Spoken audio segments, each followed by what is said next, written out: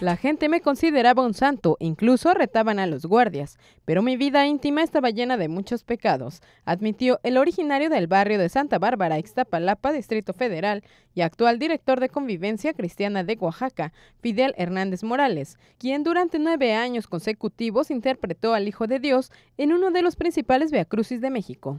Realmente sin conocer las Santas Escrituras, porque si esto nos lo hubieran enseñado desde niños, otra cosa hubiera sido mi vida. Yo me perdí en tantos pecados como muchos seres humanos.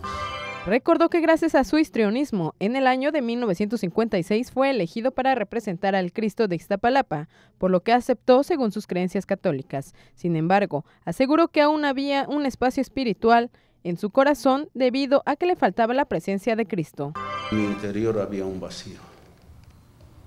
Ni la publicidad, ni el dinero, porque yo trabajaba en las cortes penales en ese tiempo, allá en Lecumberri, en los juzgados penales. Pues yo tenía mucho dinero ahí, de propinas. Y, y, eso me daba la, la oportunidad para seguir en mis pecados. Y luego metido en el ambiente artístico, que era un foco de infección. Pues todo lo hacían y yo también vivía mal.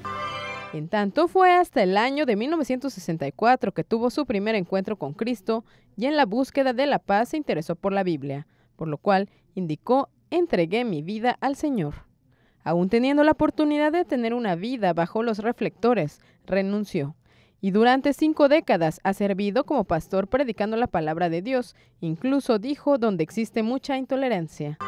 No anhelo la publicidad. No ando buscando a ver que me prefieran, no, no. Ha sido Cristo suficiente. Así que me dediqué a servir al Señor, lo dejé todo. Con imágenes de José Antonio Reyes para MBM Televisión, informó Metzli Beltrán.